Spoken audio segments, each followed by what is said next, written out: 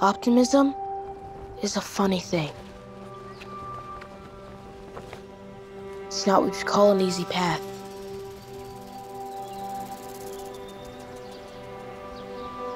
Life is too full of setbacks and chaos to feel optimistic. Yet if you do decide to take yourself to the very edge of what's possible, you dive in, smile first.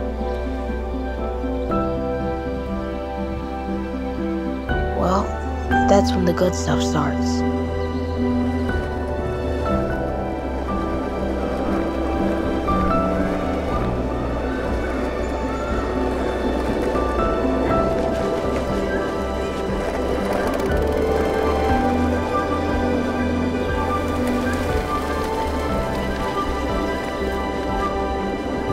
Optimism is a hard thing to choose.